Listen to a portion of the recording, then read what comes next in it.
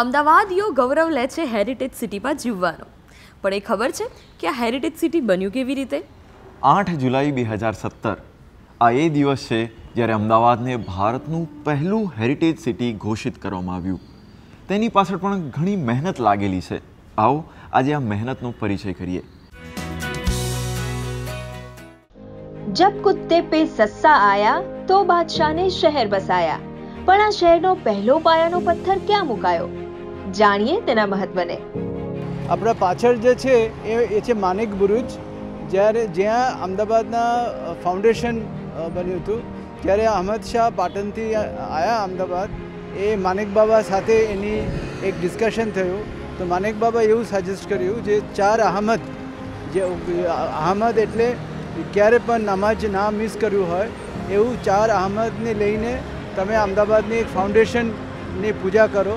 તો એમાંથી જે આ જો પાછળની છે માણેક બુરુજ અહીંયા જ આ અહમદ શાહ અને ચાર બીજા અહમદ ત્રણ બીજા અહમદ ભેગા થઈને અમદાવાદ જે અમદાવાદની જે ફાઉન્ડેશનની પૂજા કર્યું હતું. તમે અમદાવાદની જે નગર રચના તમે જો એની એક યુનિક ઇન્ડિયન પ્લાનિંગ સિસ્ટમ એની અંદર છે. કેમ કે કલકત્તા ચેન્નાઈ અ, પછી બોમ્બે એ બધા બ્રિટિશ આયા પછી બન્યું. પણ ઓરિજિનલ જે જૂની ટાઉન છે એ અમદાવાદ આજુ સુધી હયાત છે. એના પછી જયપુર બન્યું છે જયસિંહ પાસેથી. પણ જ્યારે અકબર અમદાવાદ આવ્યા એ બધું જોયું. પછી આગ્રામાં પણ અમદાવાદની જે પ્લાનિંગ છે સિટી પ્લાનિંગ એ ત્યાં રિફ્લેક્શન તમે જોઈ શકો.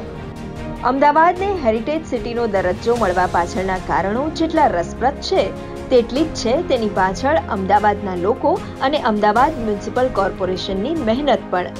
અમદાવાદની લોકો અમદાવાદ વિશે બહુ ઓછું જાણકારી છે.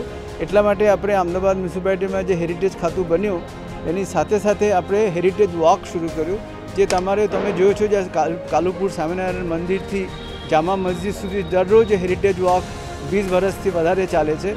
એમાંથી અમદાવાદની લોકોને અમદાવાદ ઉપર બહુ સરસ પરિચય બન્યું. અમદાવાદની લોકો અમદાવાદ ઓળખ્યું.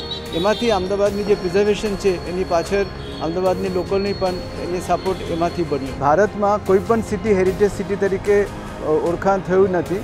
પણ અમદાવાદ થયા પછી Jaipur and part of Bombay એ પણ અત્યારે હેરિટેજ સિટી બની ગયું છે. અમદાવાદની પ્રેરણાથી પચાસથી વધારે હેરિટેજ સિટીમાં લખનૌ, અમૃતસર, પૂના, પોંડિચેરી એ રીતે ઘણી બધી સિટીમાં અમદાવાદ જો હેરિટેજ વોક અને હેરિટેજ ડિપાર્ટમેન્ટ બધું બને છે. પહેલાંથી જ અમદાવાદની જેટલા બધા કામ થાય છે, અમદાવાદની જે કોમ્યુનિટી છે, એ જે મહાજન પ્રથાથી ચાલ, ચાલતું હતું, એ બહુ યુનિક છે.